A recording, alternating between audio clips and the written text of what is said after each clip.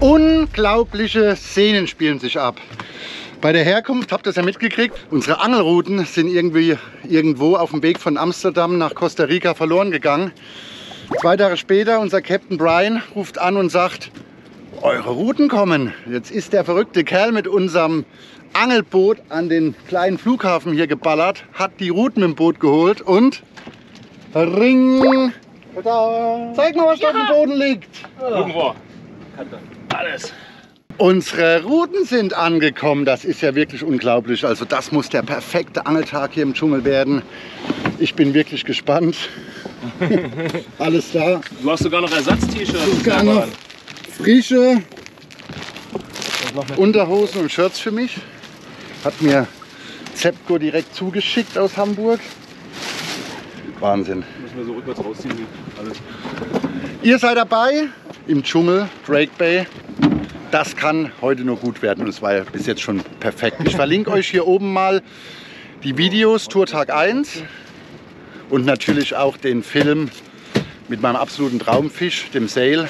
Absolutes Erlebnis, Wahnsinn. Was wir heute machen, das seht ihr gleich. Jetzt müssen wir erstmal hier ein bisschen umbauen, obwohl wir mit den anderen Leihrouten jetzt aus der Not heraus hier auch super gut zurechtkamen. Aber ein Angler will ja seine eigene Route fischen. Und wisst ihr, was das Beste ist, was sich in dem Paket versteckt hat? Meine Solid Spin. Das ist eine perfekte Route zum Weltspinnfischen und ich bin gespannt, wie sie sich hier draußen, ja, wo überall die Monster hier lauern im Dschungel, wie sie sich hier schlägt. Jetzt wird aufgetackelt und dann ist Abfahrt. Und wir nehmen euch mit.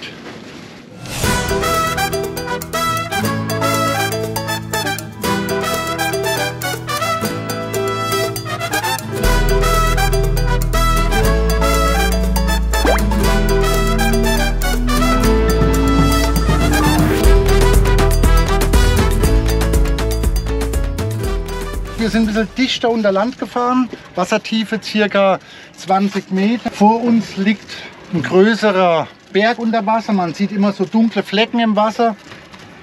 Und da betreiben wir jetzt sogenanntes Blind Casting. Also wir angeln jetzt nicht auf Fische, die wir an der Oberfläche rauben sehen. Wir versuchen durch blindes Werfen sozusagen, wie wir es zu Hause auch permanent beim Hechtangeln, etc. am Baggersee oder am Fluss machen, ja, auf aktive Fische zu stoßen, das Interesse der Räuber zu wecken, die hier am Grund stehen. Heiko poppert vorne in der Bootsspitze. Durch diesen Blob an der Oberfläche erzeugt er natürlich richtig Krach und versucht so die inaktiven Räuber aktiv zu machen. Robert und ich, wir angeln mit dem Stickbait in direkter Nähe, also hier in Bootsnähe, probieren im gleichen Bereich da abzufächern, abzuangeln ja, und sind echt gespannt, was hier passiert. Ich werde hier draußen auch noch mal zur stärkeren Spinnrute greifen und wenn wir dann näher unter Land fahren, werde ich mal meine Solid Spin mit einer kleinen Rolle, mit einer dünneren, geflochtenen, mit einem dünneren Vorfach und mit bedeutend kleineren Ködern einsetzen und bin gespannt, was uns da erwartet. Aber jetzt heißt es erstmal die großen Baits werfen, in der Hoffnung, dass der Heiko vorne mit seinem Popper genug Krach macht und hier Räuber anlockt.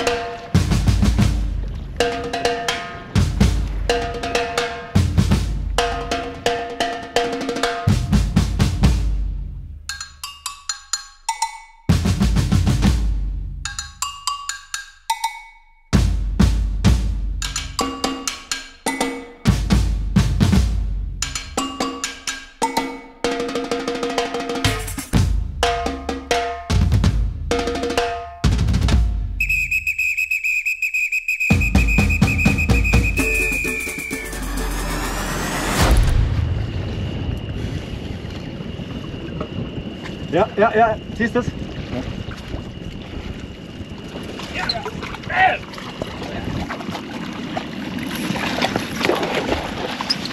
Brutal. Mach auf, mach auf. Brutal.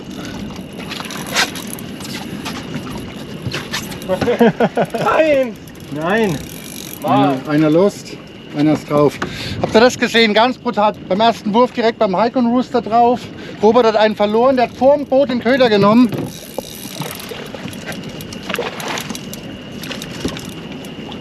Immer noch welche dabei.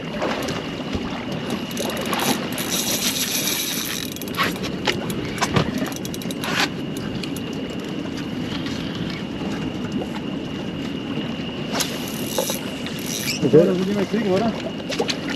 Die kriegen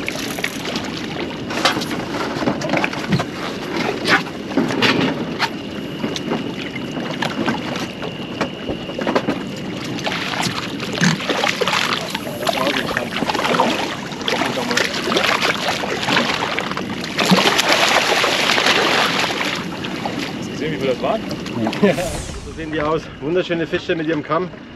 Für die sind wir hier. Gaio Gaio, der Rooster. Da war eben ein Turtle zu Besuch. Also absolut brutal, was man hier alles sieht, wenn man die Wasseroberfläche ein bisschen beobachtet. Deswegen auch ganz, ganz wichtig bei diesen Touren hier, nutzt Polarisationsbrillen. Ihr müsst auf jeden Fall euren Köderlauf sehr gut beobachten, ob ihr einen Follower habt, also ob ein Räuber da hinterher ist, dass ihr das zeitig genug bemerkt und dann auch richtig reagiert beim Spinning. Und ihr seht auch einen Haufen andere Lebewesen hier durchs Wasser ziehen. Vorhin haben wir ein Schwarm größerer Kuberas ist am Boot vorbeigezogen, wollten aber nicht fressen. Eben eine große Schildkröte kam vorbei. Also man hat hier immer was zu gucken. Ich werde jetzt auf jeden Fall mal auf eine leichtere Route wechseln. Meine Plakettroute kommt jetzt hier zum Einsatz. Die Solid Spin in der Länge von 2,40 Meter. 70er Mono als Vorfach und ein relativ kleiner Stickbait vorne dran. Die Jungs werfen hier die Riesenköder und da probiere ich mal einen kleineren Köder aus.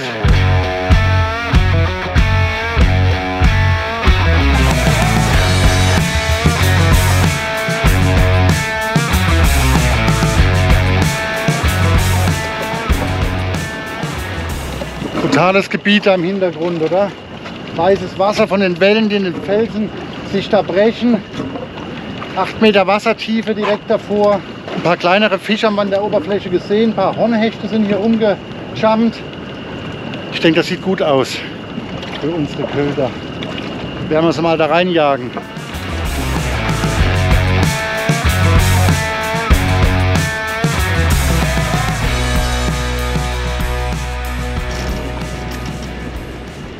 Ja, voller.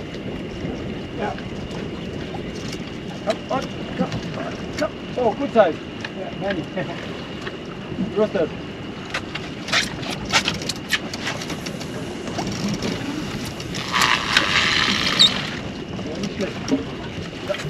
Ja, nicht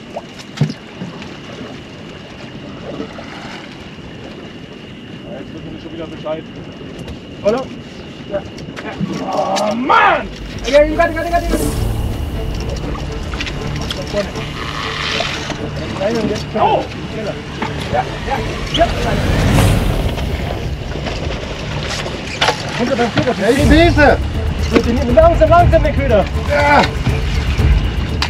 Brutal!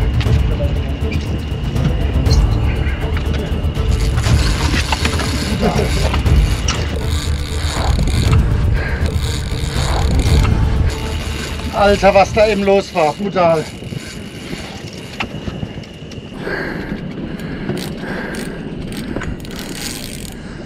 Boah. Brutal. Also eben Heiko den ersten Follower, dann kocht's Wasser. Robert einen verloren, die nächste Sekunde hat er ihn drauf und dann bei mir noch hinterher. Hier, Komplett brutal. hier sieht es auch gut aus. Ja, leider ein kleiner, aber der große vorhin ist abgegangen.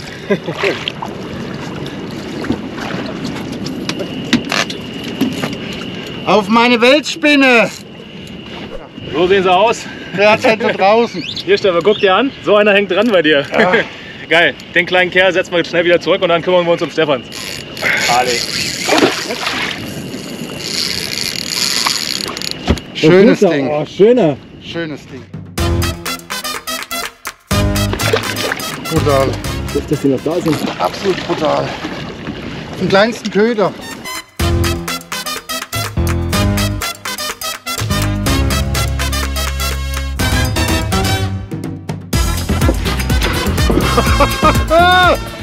Absolut brutal. Guckt euch mal das Paddel da oben an. Den Hahnkamm. Das ist mein erster Rooster. mit der Wallerspinne hier abgeholt. Mega. Brutal. Also was ich eben erlebt habe, wie die alle hinterher sind. Und plötzlich knallt wie Sau hier vor Costa Rica. Wahnsinn. Guckt euch das Ding an. Brutal.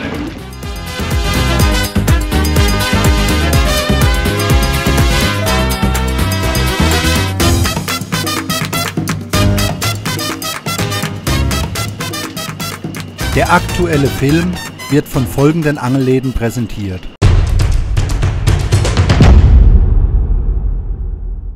Hier bekommt ihr alle brandneuen Produkte, ein super Preis-Leistungs-Verhältnis und eine fachmännische Beratung.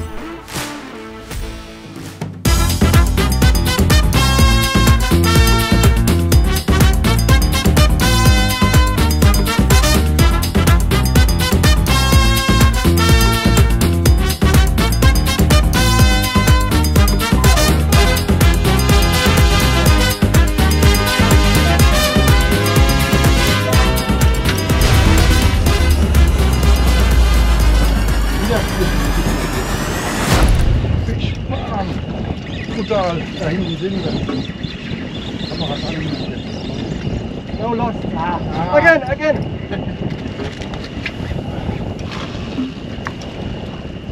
Ganz wichtig, nach dem Anhieb Bremse auf, dass er weglaufen kann. Das machen wir alles in kurzer Zeit. Ah, wo ist das? Wir hauen euch alles zusammen. Ah, no. Schon. Robert hat einen drauf. Oh, gute Fische. Noch.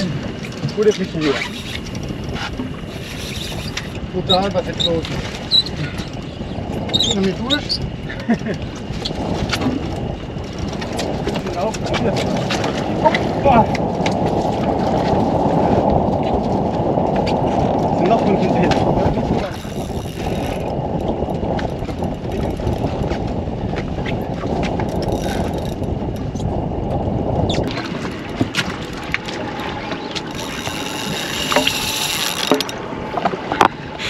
Einer muss ja mal die Kamera in die Hand nehmen oder könnt ihr nicht alle hier wahllos angeln, dann habt ihr zu Hause nichts zu sehen. Der Robert seiner hängt doch dran. Was eben hier los war, komplett brutal. Überall Einschläge. Heiko seinen ersten verloren, Robert wirft hin, Volleinschlag. Hier kommt er. Eskalation.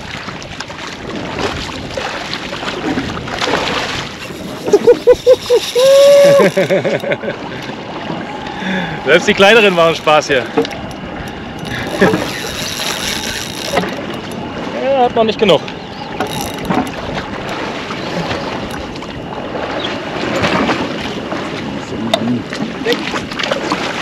Ja.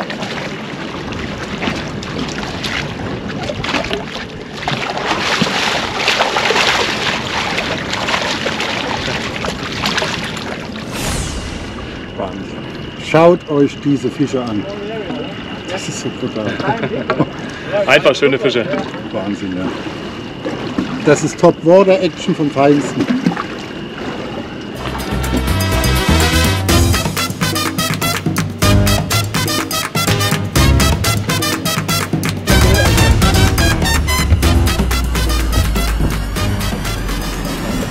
Ja, ui. Alter. The bait who doesn't catch a fish.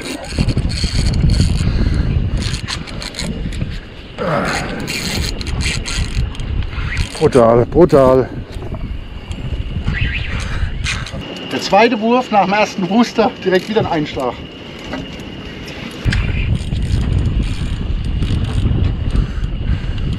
Wie ihr seht, ihr könnt ja auch bei den Fischgrößen problemlos mit Süßwassertackle anrücken, also mit einer soliden Weltspinroute.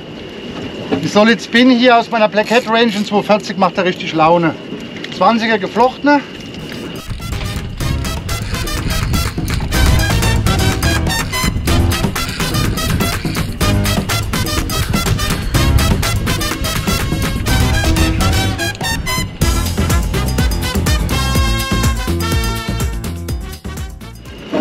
er Vorfach, mega, absolut brutal. Wahnsinn, diese Fische. Da ist ein Jack. Jackie, diese. Jackie Chan. Jackie Chan. Ja,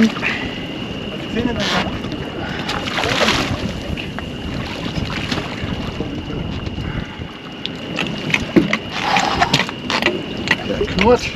Ja. Wahnsinn. Mein erster Check. Den hast du ganz schön verärgert. Kleiner pinker Stickbait. Das, das macht süchtig, brutal.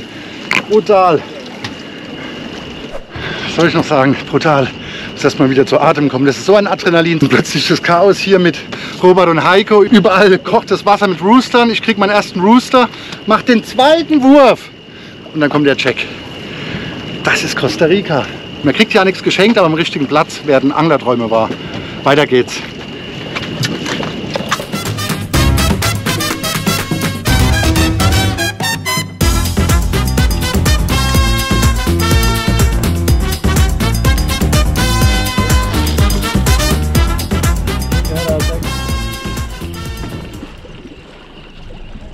Follow, follow, follow, follow, follow, yeah!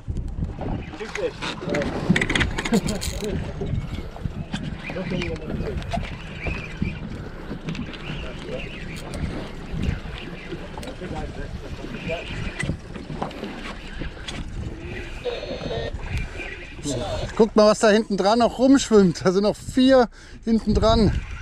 Big Eye Jacks oder sowas.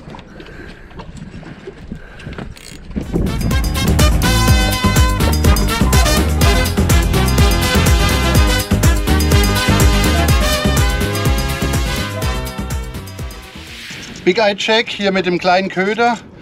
War genau die richtige Wahl, jetzt zur leichten Rute zu greifen am nächsten Spot. Wir haben sie gesehen an der Oberfläche belrauben und direkter Einschlag. Robert ein, ich ein. Gerade ein Double Hookup und da kam bestimmt noch 10 oder 20 hinterher. Absolute Begeisterung. Und ich will euch mal was zeigen. Ich habe ja mit Abstand den kleinsten Köder von den Jungs drauf.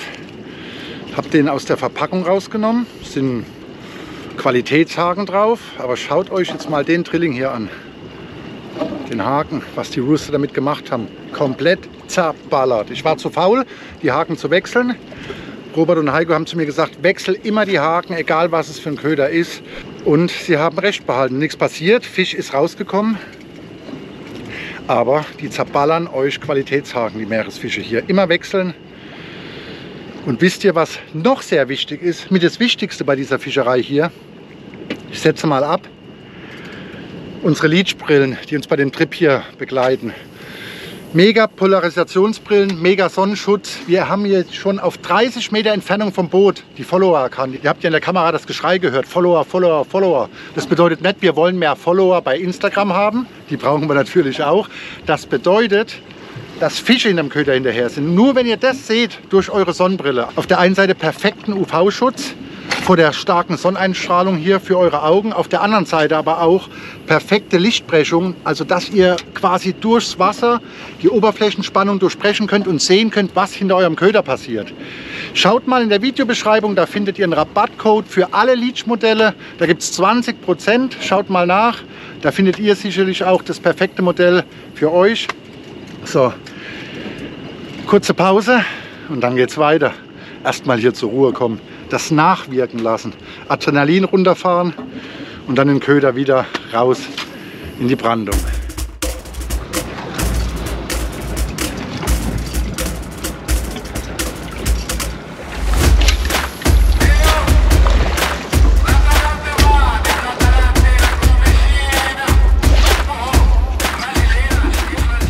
Absolut brutales Ambiente. Also allein um hier schon angeln zu dürfen, ist ein Wahnsinnserlebnis. Ja.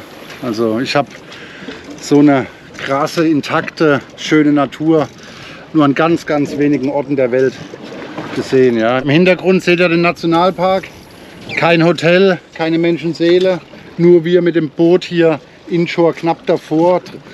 Wippen auf den Wellen hin und her. Wirklich ganz, ganz tolle Kulisse.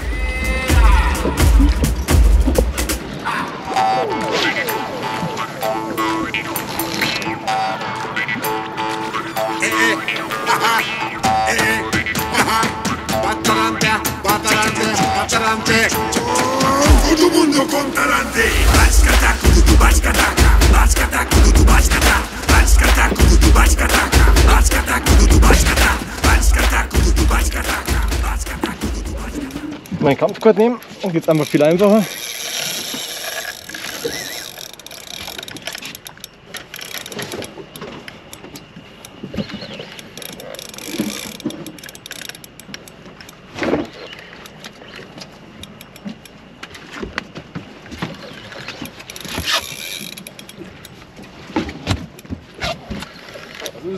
Jack, glaube ich. Also pumpt nach unten und Ja, Jack. nickt, muss es Jack sein.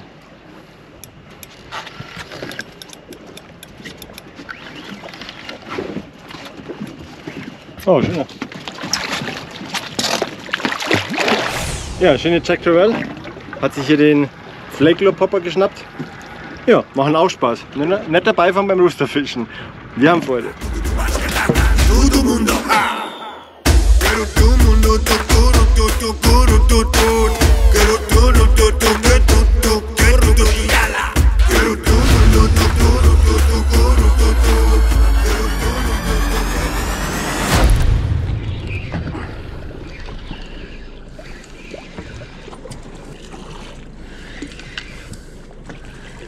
Kann ich den ganz normal anfassen? Nee, das ist überhaupt nicht super gefährlich. Was? Super gefährlich mit den Sch Die haben super spitze Zähne, das müssen sie fangen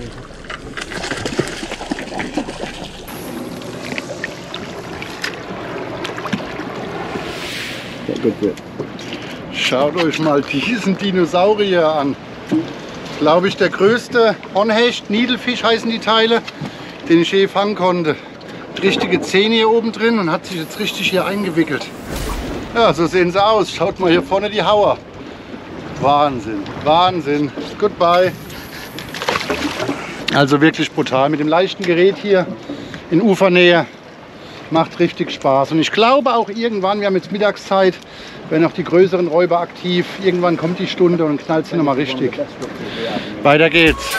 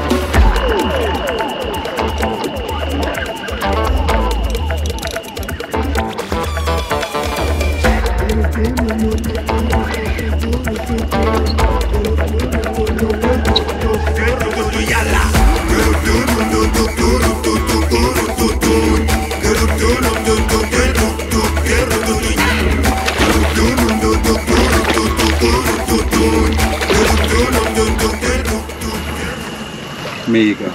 Schöner Jack, Petri. freut mich, danke.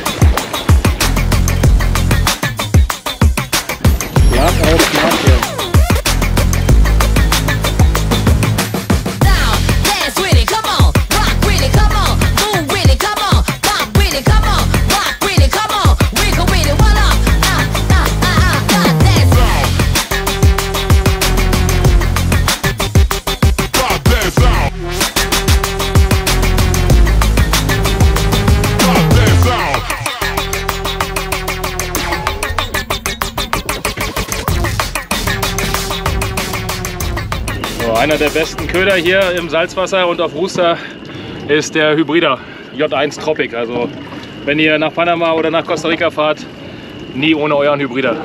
There once was a ship that put to sea, and the name of that ship was the Billy O.T. The winds blew harder, bow dip down, blow me, bully boys, blow. Soon may the weatherman come to bring us sugar and tea and rum. One day when the tonguing is done, we'll take our leave and go. Dieses Gebiet hier kennen wirklich nur die Einheimischen. Hier angelt kein einziger Tourist, hat unser Captain uns erzählt. Also wirklich eine, eine Ehre, ja, dass er uns hier an solche Lost Places, an solche versteckten Orte mitnimmt. Kurz mal zum Vorgehen, zum Tackle. Ich habe zwei Routen am Start. Für das Inshore-Angeln eine leichte, die Solid Spin in einer Länge von 2,40 Meter aus meiner Black Cat Range.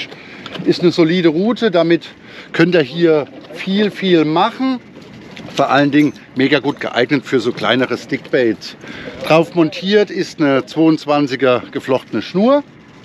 Und wenn es dann wirklich schwerer werden sollte, also ihr ein bisschen weiter raus an die Kante geht, 20, 30 Meter, kommt eine schwere Route zum Einsatz hier mit einem großen Popper drauf. Denn wir müssen den Fischen ja hier was bieten, dass die starten von unten und unsere Köder an der Oberfläche wegnageln. Also angelt definitiv nicht zu klein. Habt keine Angst hier vor großen Ködern. Wir angeln direkt an der Oberfläche. Vor allem jetzt die Poppers ist ein Garant, also ein richtiger Krachmacher, um die Raubfische anzulocken. Und wie gesagt, die starten halt nicht wegen einer Sardine. Ne? Großer Köder, dann denkt er sich, okay, und Action, ihr geht ja auch nicht ins Restaurant und bestellt nur eine Olive. Ihr wollt ja dann auch, wenn ihr Hunger habt, einen fetten Burger oder ein dickes Schnitzel. So viel zum Setup. Auf dem Boot, wenn es rausgeht, egal ob ihr Inshore oder Offshore angelt, braucht ihr ja gar nicht viel mitnehmen. Ich habe hier so eine wasserdichte Tasche dabei.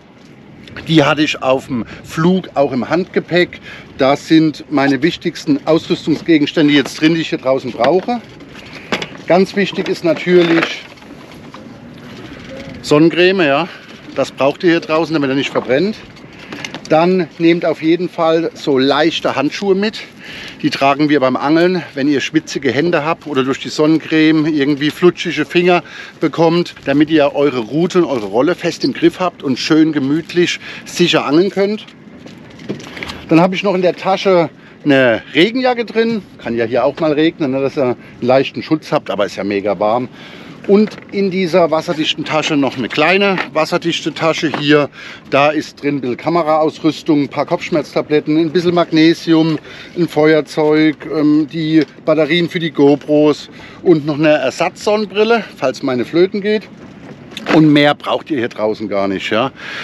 Auf dem Boot haben wir eine große Kühlbox mit, da sind ein paar kalte Getränke drin, ein bisschen Y-Food und mittags haben wir auch einen Lunch-Service, also die Einheimischen bereiten uns morgens was vor, ein bisschen Reis, ein bisschen Fleisch, je nachdem, was ihr gerne mögt. Das ist dann auf dem Boot drin für die Mittagszeit.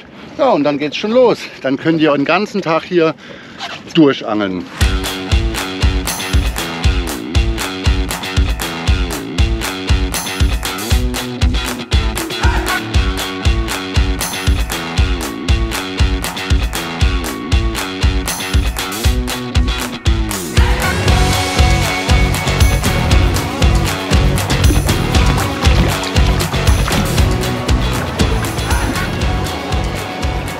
Boom. Komplett brutal. Diese Rooster, also das macht süchtig. Das macht süchtig. Ich habe da auf dem Herflug, Robert hatte mir da so ein paar Bilder gezeigt, sag ich, so einen Fisch würde ich gerne fangen. Heiko hat mir erzählt, in einer anderen Destination hat er einen in der Woche gefangen. Also es ist nicht immer alles so einfach, wie es aussieht. Und wir haben ein, zwei Stunden gesucht und plötzlich war das Chaos hier am Boot perfekt. Überall hat es geraucht, überall Aktion, Fische ausgestiegen, Fehlbisse, dann ging es weiter. Also das war wirklich ein brutaler Tag. Wenn ihr Bock habt, sowas Verrücktes auch mal zu erleben, meldet euch bei mir, schaut mal in die Videobeschreibung. Ich plane für nächstes Jahr eine Tour, wo wir dieses Paradies hier zusammen beangeln können. Seid dabei. Alles, was ihr mitbringen müsst, ist gute Laune. Der Rest ist hier vor Ort. Der Rest ist organisiert. Wir machen uns jetzt noch einen gemütlichen Abend, springen erstmal einen Pool in der Lodge. Und wie es weitergeht, morgen, ich will schon gar nicht mehr davon sprechen, ja. Morgen wollen wir uns mal mit richtig großen Tunas anlegen. Und ihr seid dabei. Vielen Dank fürs Zuschauen. Bleibt gesund. Alles Gute für euch, euer Stefan. Ciao, ciao.